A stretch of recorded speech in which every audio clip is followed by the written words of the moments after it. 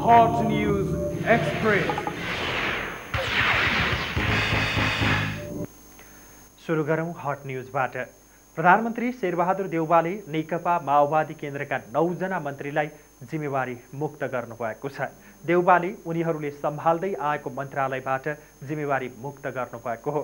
माओवादी केन्द्रका मन्त्रीहरू आजै सरकारबाट हट्ने बताइए पनि माओवादीले चुनाव सार्ने प्रपञ्च रचिएको भन्दै मन्त्री नछाड्ने निर्णय लिएको थियो।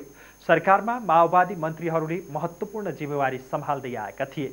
माओवादीले उपप्रधानसहित परराष्ट्र मन्त्रालय गृह मन्त्रालय सहरी विकास शिक्षा जस्ता महत्त्वपूर्ण मन्त्रालय सम्हालेको थियो।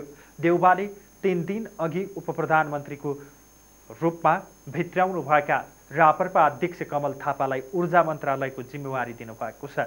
माओवादीका जनार्दन शर्माले सम्हाल्दै आएको गृह मन्त्रालय देउबा आफैले राख्नु भएको छ।